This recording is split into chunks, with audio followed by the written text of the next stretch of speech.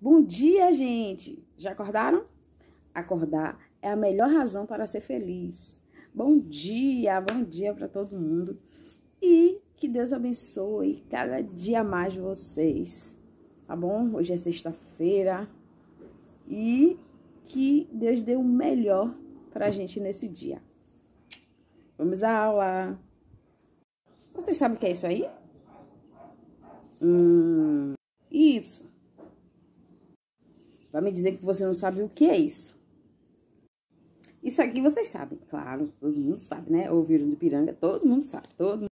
Tudo isso que eu mostrei para vocês são os símbolos nacionais. São símbolos que expressam, assim, união no país, sentimento de união da nação, né? Que a nação tá junta através daquilo ali. Então, são símbolos da nação. Esse daqui é o nosso primeiro símbolo. Ah, a bandeira.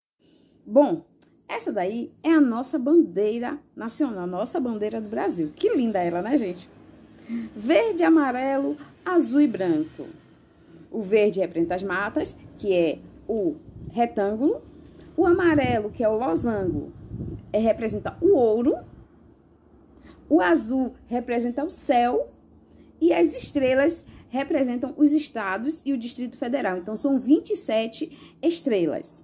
Então tem aí, e dentro tem dizendo ordem e progresso, que era o que as pessoas queriam que acontecesse no nosso, no nosso país. Ordem e progresso.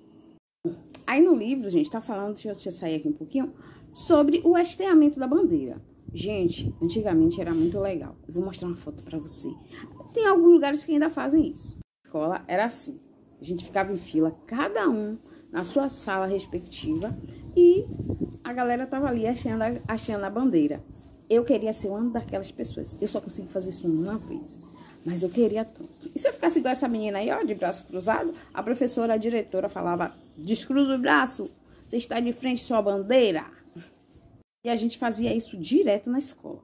Então, isso acontecia 8 horas da manhã e para tirar a bandeira é, 6 horas da tarde. Isso eu acho que em repartições públicas. Na escola a gente fazia isso de manhã, meio-dia quando saía e depois de tarde fazia de novo e tirava.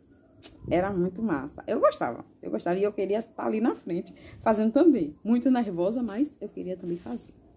Coisas que não devem ser feitas com a bandeira, check. Não pode apresentar a bandeira rasgada, hasteada rasgada. Não pode, tem que tirar rapidamente. Não se pode fazer arte com a bandeira, mudar a bandeira de qualquer jeito, não pode não pode fazer a bandeira de roupa.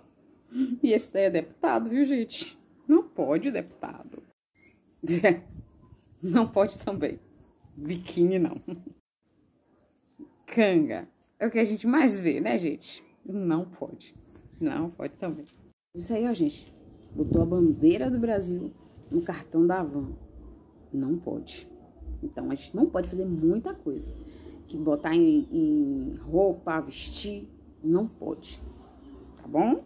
Isso aí, o nosso símbolo, um dos maiores, né? Que a maioria das pessoas sabe cantar errado ou não, mas cantam, não é, gente? É o símbolo nacional da nossa prata e é sonoro, né? Que a gente pode falar. Então, foi feito por Joaquim Osório Duque Estrada é, e a música é de, de autoria de Francisco Manuel da Silva. O hino nacional brasileiro foi oficializado em 6 de setembro de 1922. Então, todo mundo sabe cantar o hino nacional, então é um dos símbolos que todo mundo conhece.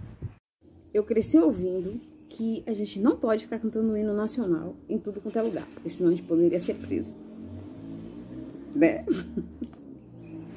Mas ele é lindo. Eu amo o hino nacional. Amo, amo, amo cantar.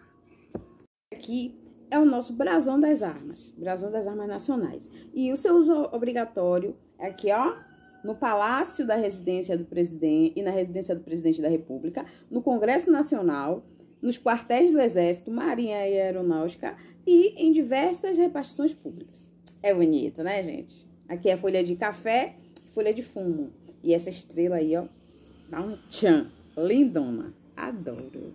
Isso daqui é o selo nacional é usado para autenticar atos do governo, bem como diplomas, certificados expedidos pelos estabelecimentos de ensino oficiais e reconhecidos. Então, assim, quando você recebe algum diploma, é, algum certificado que seja reconhecido, vai estar tá aí, ó, o selo nacional. Bom, como a gente ama nosso hino nacional, eu vou querer que vocês façam essa atividade e me mandem. Vocês vão fazer no papel, pode ser no caderno mesmo. Vocês vão ouvir, bota aí no celular, ouve o hino nacional e vai desenhando o que vocês estão ouvindo. Vão desenhando, fazendo desenhos sobre o que você está ouvindo sobre o hino nacional. E depois me manda no privado. Também vamos fazer o nosso dever na página de reforço, número 178, 179. E na página de história, no, no, no livro de história, 88 tá bom? Então, gente, um ótimo final de semana, que seja muito legal para vocês. E vamos descansar, mas fazer o que a gente tem que fazer, tá bom? Um beijo, até segunda-feira.